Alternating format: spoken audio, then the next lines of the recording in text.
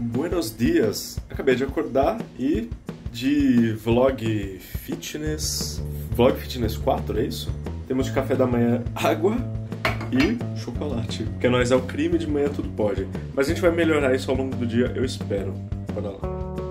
Eu sei que teoricamente isso aqui é um vlog de emagrecimento, mas o que eu tinha para sobrando no freezer para almoço, essas costelas com barbecue. É isso que a gente faz no almoço, depois no resto do dia a gente compensa de alguma forma.